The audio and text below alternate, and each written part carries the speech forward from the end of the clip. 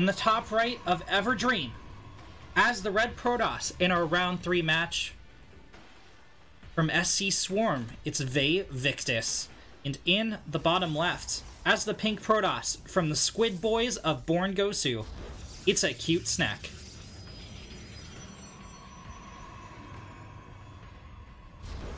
A cute grabs a gas.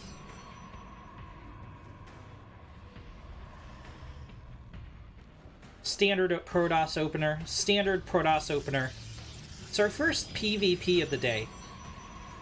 Ironically, VaeVictus rocking a squid outside of his main as well. Look, I know it's a Protoss, it just, it looks like a squid, okay? Look at it. Is that Amon? Is that like Amon symbol? I don't know. I don't know the lore, guys. I'm a, I'm a melee player, okay? Don't judge me, no! Okay, double gates for both players. Um, we're gonna see some scouting. We're gonna see what the first two units are out of both players' gateways.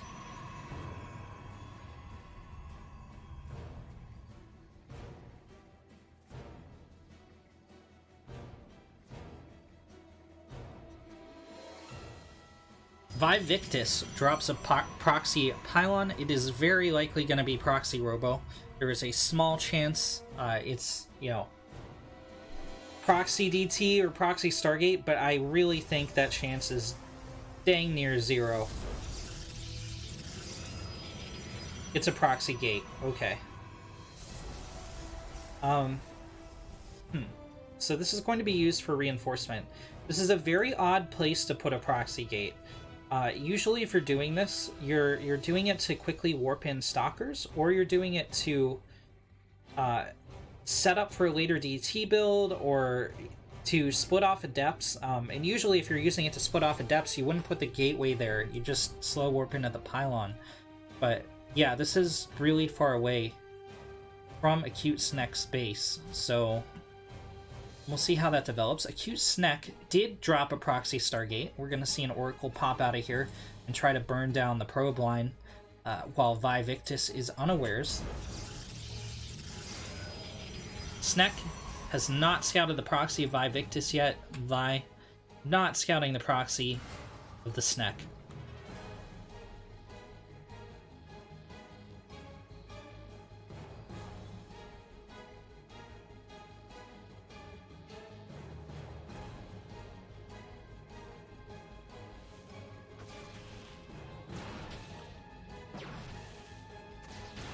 Okay, Vi has found the proxy. He is... No!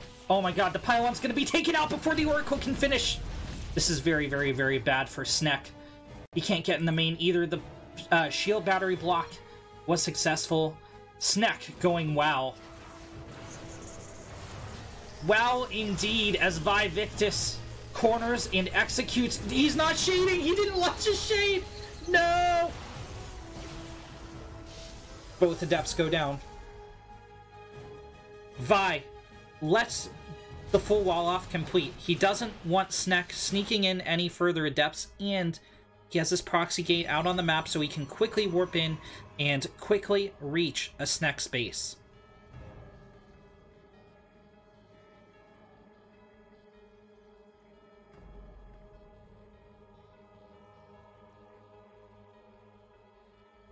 Snack has four stalkers and a dream. Now, by having a dream, I mean by having shield battery overcharge at the second. Wait, he pulled into the main. He needs to get down there now before Vi snipes the shield battery.